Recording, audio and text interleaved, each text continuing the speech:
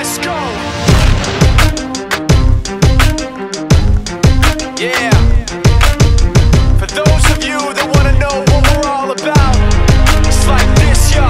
This is 10% luck, 20% skill, 15% concentrated power of will, 5% pleasure, 50% pain, and 100% reason to remember the name. He doesn't need his name up in lights, he just wants to be heard, whether it's the beat of the mic.